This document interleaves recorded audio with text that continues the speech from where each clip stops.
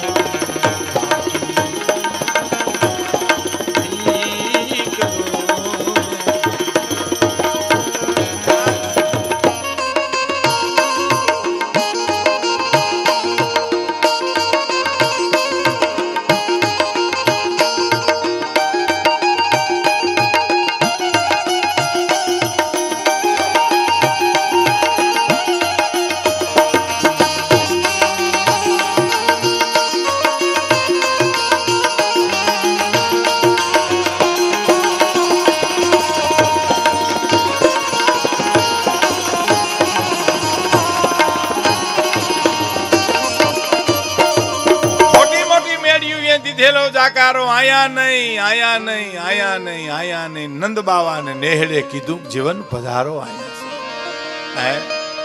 કલ્પના તો વિચાર તો કરો સાહેબ. નંદ બાવાની ઝૂંપડીએ. ઝૂંપડી અને બંગલો, સાંભળો. બંગલો અને ઝૂંપડી એ પ્રતીક છે. હા. જેનું મન બહુ મોટું હોય, જેનું દિલ વિશાળ હોય. રામભાઈ એ ઝૂંપડીમાં રહેતો હોય તો બંગલામાં રહે છે. અને જેનું મન મરેલું હોય, દિલમાં કાંઈ ન હોય એ બંગલામાં રહેતો હોય તો ઝૂંપડીમાં રહે છે. આ એ જ દુલાકાગની વાત છે કે મોટી મોટી મેળ્યું એ એને દીધેલો જાકારો